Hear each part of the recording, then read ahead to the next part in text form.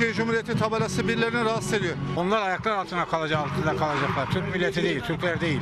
Türk milletin ayaklar altına alamazsınız.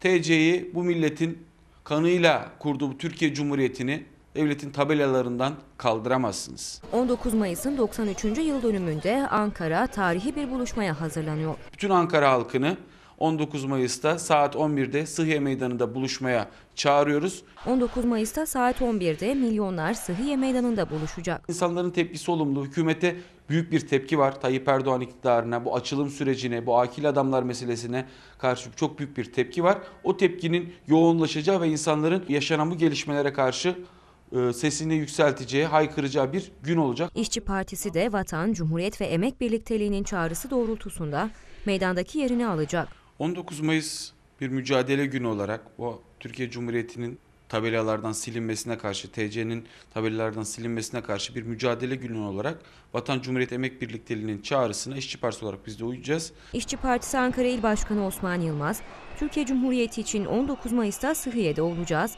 Türk milleti AKP'nin planlarını bozacak dedi. 19 Mayıs'ta saat 11'de Sıhhiye Meydanı'nda coşkulu bir kalabalıkla bu e, girişimleri AKP iktidarının bu girişimlerine karşı gerekli cevabı vereceğiz.